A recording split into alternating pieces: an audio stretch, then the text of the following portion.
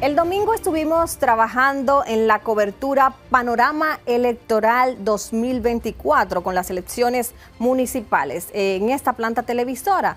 Entonces estuvimos asignados eh, Santo Domingo Este.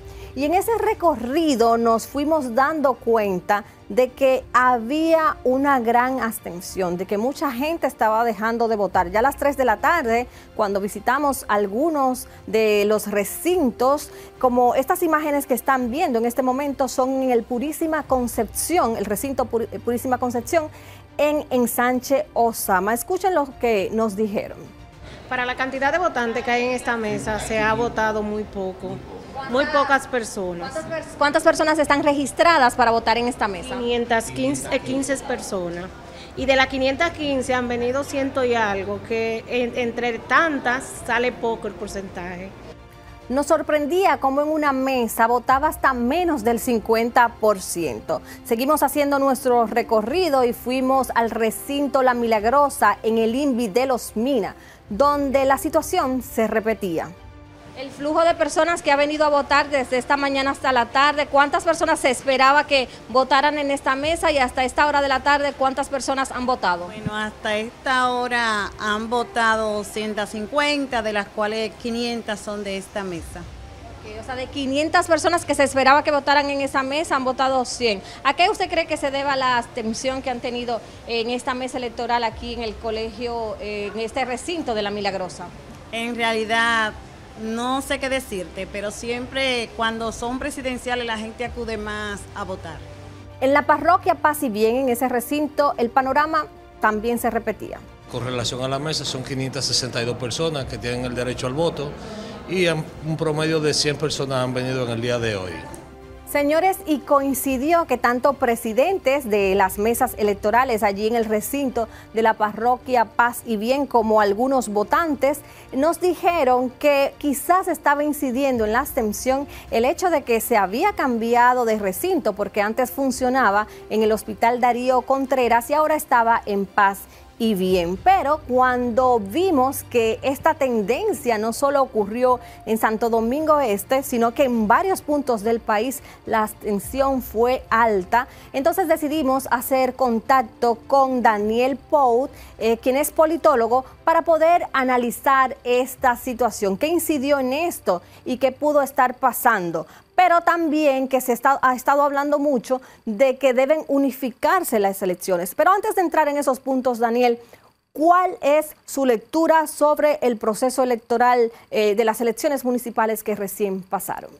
Bueno, estas elecciones municipales, eh, podríamos decir que en términos de, de manejo de lo que es el proceso, fueron muy exitosas no hubo fallos, técnicos que pudieran alegarse, por lo visto todos los colegios pudieron prácticamente empezar a la hora indicada.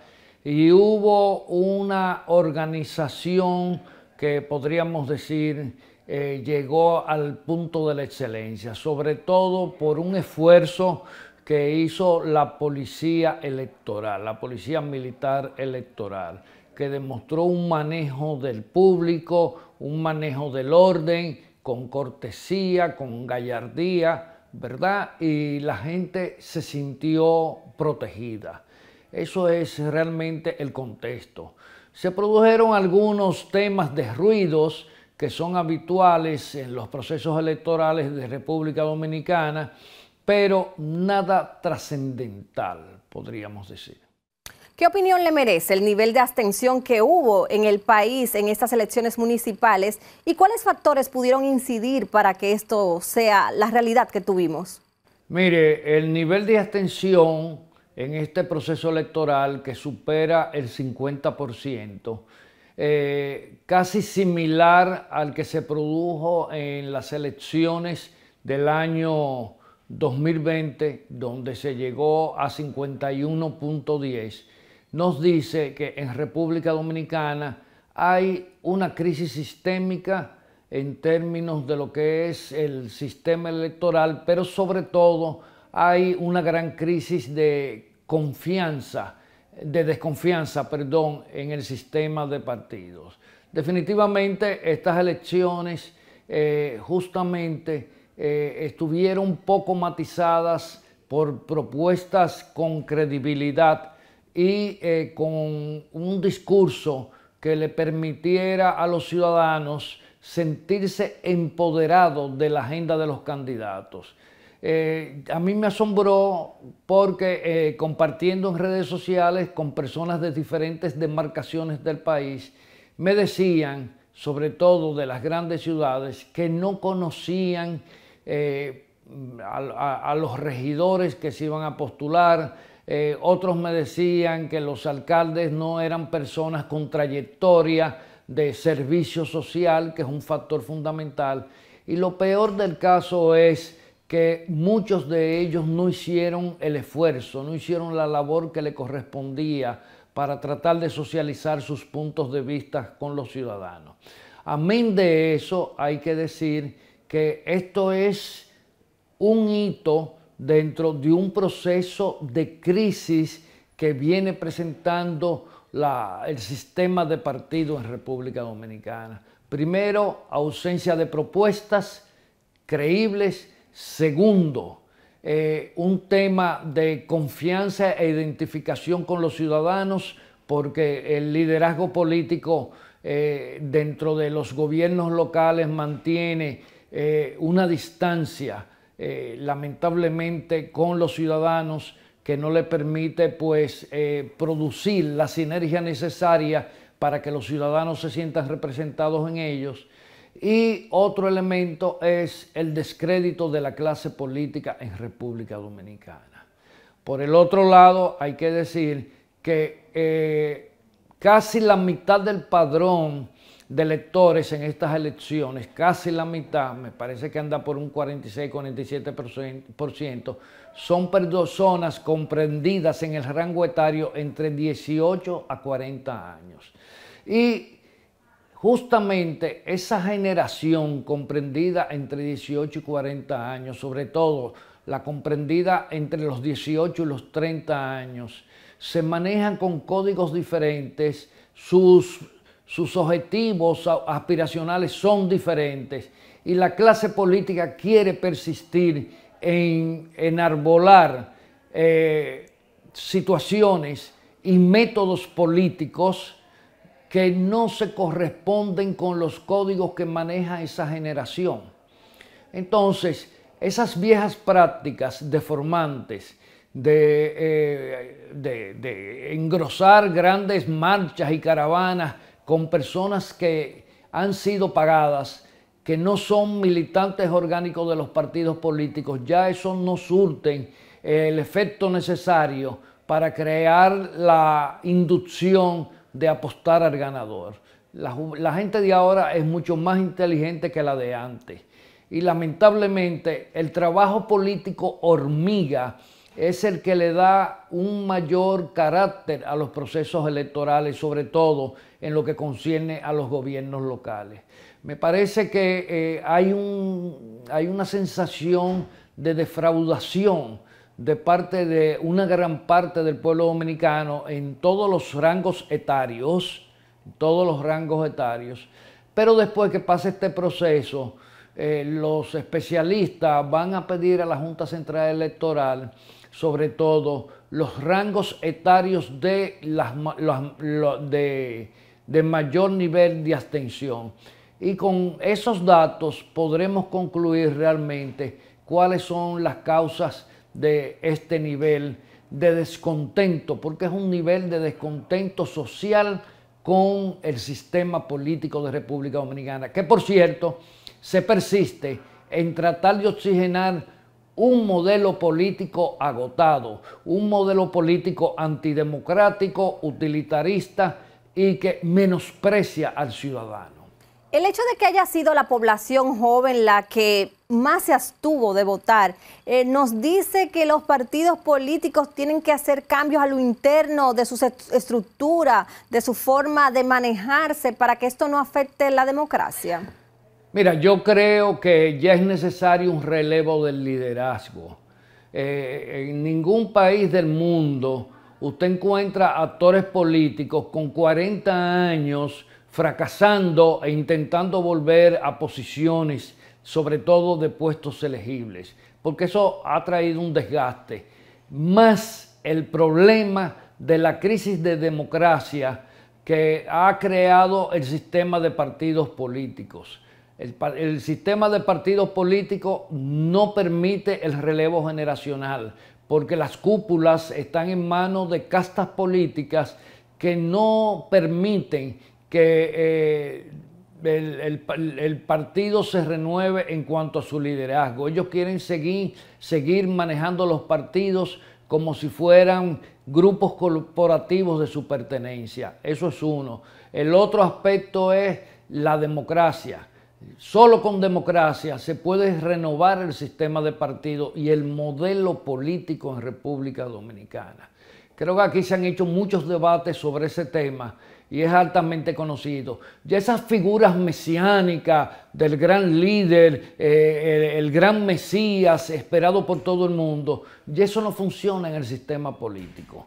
Y creo que este proceso electoral ha sido bastante elocuente y es una señal bastante directa y efectiva para que todos esos mesías ya gastados, que han fracasado en muchos de sus proyectos y en muchas de sus propuestas políticas, empiecen a comprender que ya le ha llegado el momento de retirarse. Algunos de ellos se le ha pedido que se retiren y se conviertan en árbitros de la credibilidad del sistema político, pero ellos siempre argumentan que tienen compromisos, pero compromisos de qué tipo? Con personas que están esperando que esa persona eh, pues tenga en sus manos los recursos del erario para obtener beneficios. Y eh, realmente eh, eso ha traído un acogotamiento en cuanto a lo que es la renovación del sistema político en República Dominicana. ¿Cree usted que en un país pobre como el nuestro se debe repensar esto de tener elecciones separadas con todo el gasto que esto implica? Eh, pero claro, manteniendo quizás la división de boletas entre lo que es elecciones de alcaldes, regidores, el poder ejecutivo, el poder legislativo, manteniendo esa división, pero sí unificando el día del proceso. ¿Cree que debemos hacer eso en algún momento? Mire, un país como el nuestro necesita aprovechar cada hora hombre de trabajo. Un país como el nuestro no puede desgastarse cada cuatro años en largos procesos electorales que la más de las veces no conducen a ninguna renovación. Yo creo que ha llegado la hora ya de unificar en una sola fecha las elecciones congresuales, municipales y presidenciales. Me parece que con la capacidad de comunicación que hemos desarrollado en República Dominicana, donde los recursos son quizás de los mayores de América Latina, es muy fácil educar a las personas para que puedan en un proceso electoral pues plasmar su voluntad de una manera pues taxativa.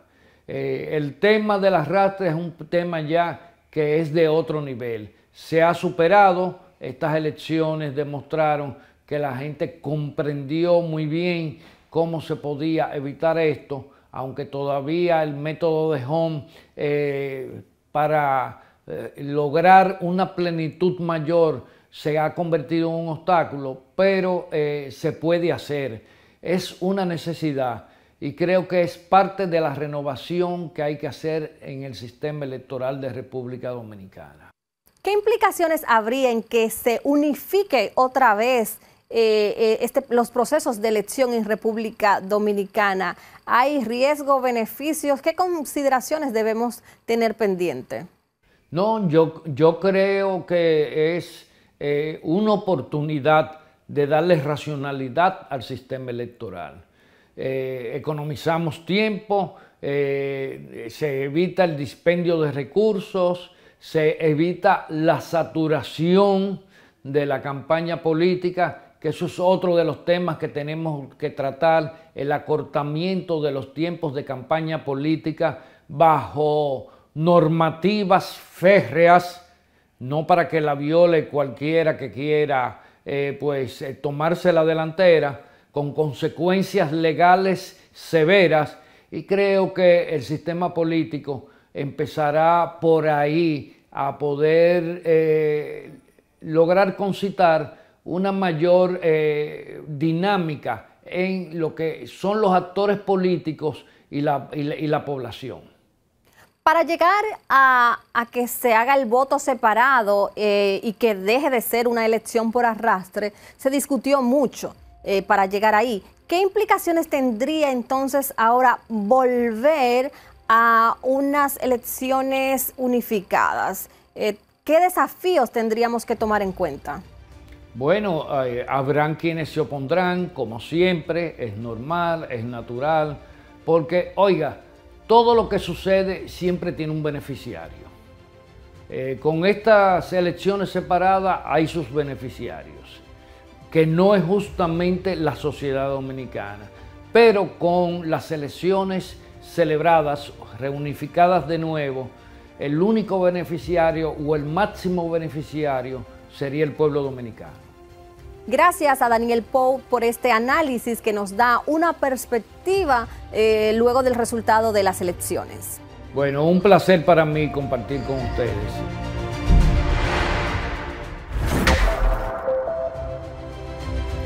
Bueno, agradecida de que nos hayan acompañado en esta trayectoria del contenido del programa. Yo soy Odalis Castillo y los espero la semana que viene aquí en BTV Canal 32 para que juntos veamos los temas de interés con la perspectiva de toda la verdad.